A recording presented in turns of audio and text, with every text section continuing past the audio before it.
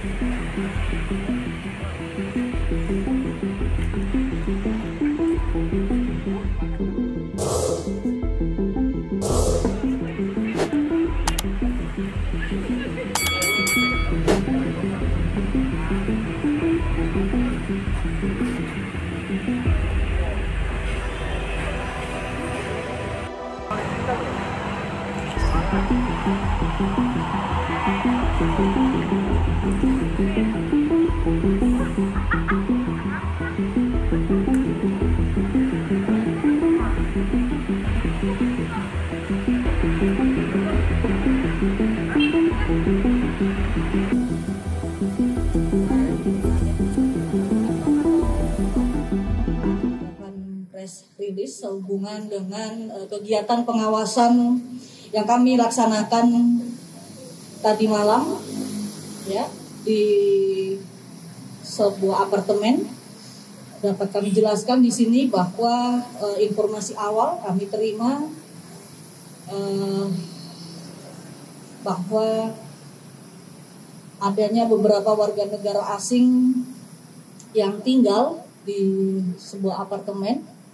Namun untuk kegiatannya masyarakat sendiri juga eh, tidak dapat mengetahui secara pasti. Sehingga mereka melaporkan ke, keberadaan mereka dan kami petugas segera menindaklanjuti. Dan alhamdulillah pada Jumat dini hari kami berhasil mengamankan sebanyak 24 orang warga negara Afrika yang mana untuk eh, 12 orang diketahui berkeluarga negaraan Nigeria sedangkan 12 orang lainnya untuk saat ini karena mereka tidak dapat menunjukkan dokumennya sehingga kami belum dapat eh, menentukan apa warga negaraannya.